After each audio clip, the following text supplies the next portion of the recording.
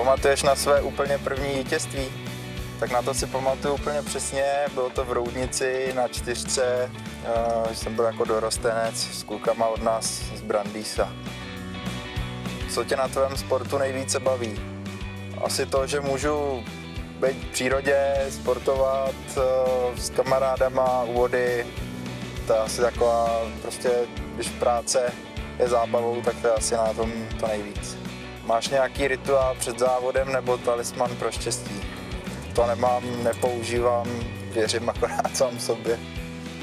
Jaký jsi, popis se třemi slovy. Uh, velký, hodnej a hezký. Kdy v životě jsi musel nejvíc zabrat.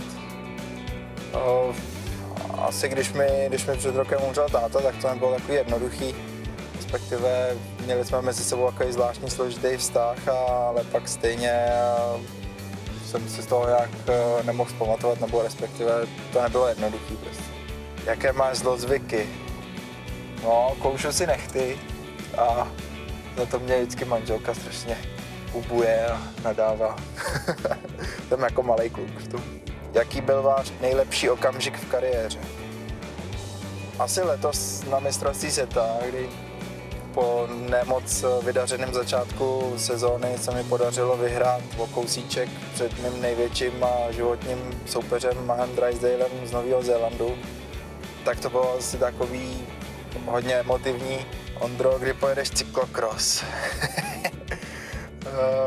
Kolo mě hrozně baví, cyklokros bych jel rád, letos to ale bohužel nebude, protože za prvé nemám kolo.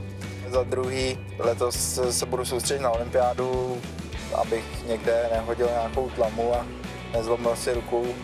Takže příští rok, to je otázka od Jardy Brindy, tak příští rok Jarda s tebou pojedu. Kde bys žil nejraději? No, nejraději bych žil tam, kde žiju teď, protože se mi líbí u nás eh, ve Staré Boleslavi a uh, neměnil bych to. Tím, že hodně cestuju po světě, tak vidím všechny možné kouty světa. Opravdu Česká republika je krásná, spousta lidí si ani neuvědomuje, co, co tady všechno máme a že tady opravdu hezky.